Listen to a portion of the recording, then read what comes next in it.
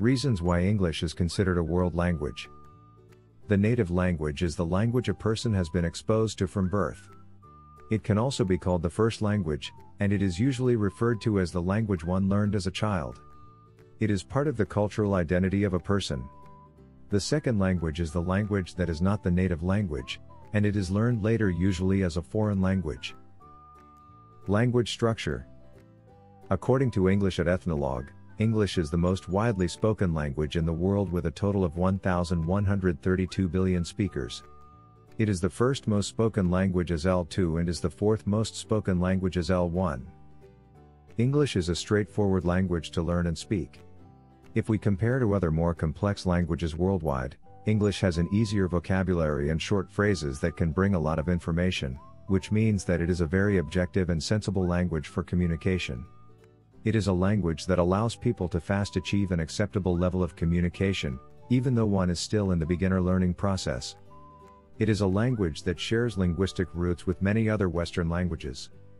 Therefore, for many speakers of these languages, the learning process becomes easier. With a strong Latin influence, English is a rich and very broad language. One can say the same thing or convey the same idea in several different ways. English has over 750,000 words, though some specialists says that could reach 1 million words. Language of business communication. English is the official language for international business, and it has been used not just because the largest economy in the world is the United States of America, an English speaking country, but also because the top developed technologies in the 20th century were carried out by English speakers. The upcoming years is expected to be led by communication and technology.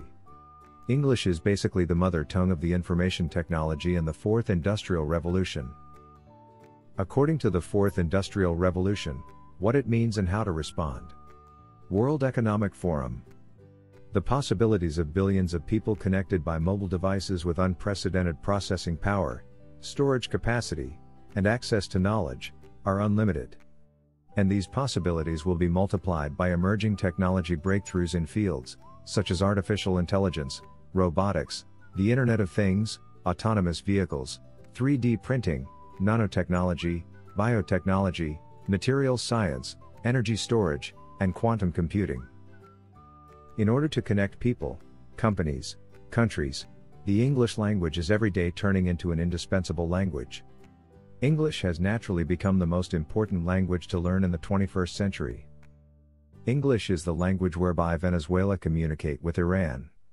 Although they are contemporary strategic allies, Venezuelan people do not speak Persian, Iranian people do not speak Spanish.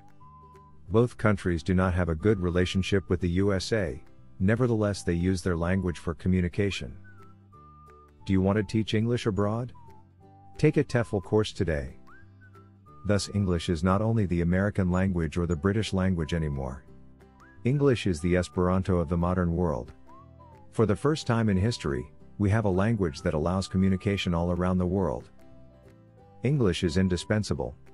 It is possible that within 100 years most local languages would disappear due to the emergence of a global language. The probability that English is this global language is high. In English a Japanese communicates with a Chinese. In English a Mexican communicates with a Frenchman. In English a Russian communicates with a Brazilian. Hence, English is the language of the future. English is the world language. Thanks so much for watching. We are ITTT, the leading provider for TEFL and TESOL training courses. If you like this video, please subscribe by clicking that button down here and click on any of the videos here on the left for more interesting teaching tips for getting certified to teach English abroad and online.